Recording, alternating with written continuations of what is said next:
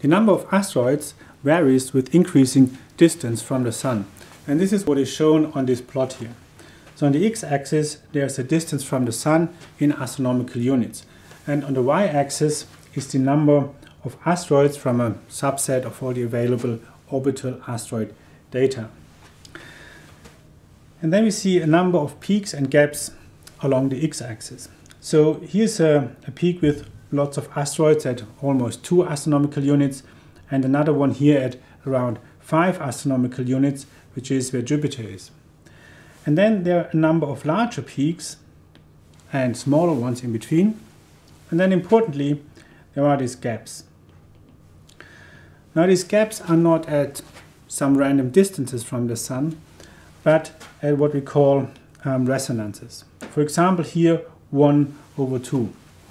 And this means that Jupiter orbits the Sun once and the asteroid in the same time orbits the Sun twice. And this is then a 1 to 2 resonance. And you can see there are a number of other resonances like 1 to 3, so Jupiter orbits once, the asteroid three times, or sometimes also something like 2 to 3, so Jupiter two times, asteroid three times, and so on.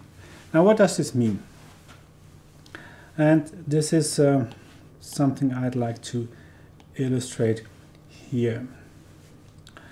Um, now, if the Sun is in the center here, and then here's an asteroid, and over here is Jupiter.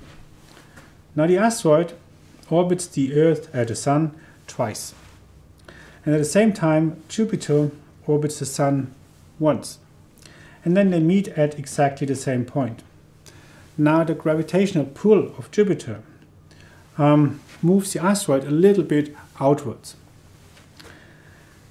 And then starts over the asteroid in new orbit, orbits the Sun twice, and Jupiter at the same time in its same orbit, because it's very large compared to the asteroid, orbits the Sun once. So they meet again at the same point, and the asteroid moves out a little bit further. And then all this happens the next time, two times, and Jupiter once. They meet again, and the asteroid is pulled out a little further. So what um, the result is, is that the asteroid initially was here and over time moved out here. So this orbit here, so if this is something like, a, if this is the 1 to 2 resonance here, um, is, is emptied by this process. By the gravitational pull of Jupiter, every, um, every, um, every orbit, it is emptied. And this is what we see here in these Kirkwood gaps, that where initially there was this um, the asteroids in this 1 to 2 resonance, they were moved out here and uh, this is why this gap exists and it's cleared out. And then one might expect that there's a large peak here or something like this. But what can also happen is that if um, if we have, for example, the Sun again the center, and here's Earth now, one, one possibility.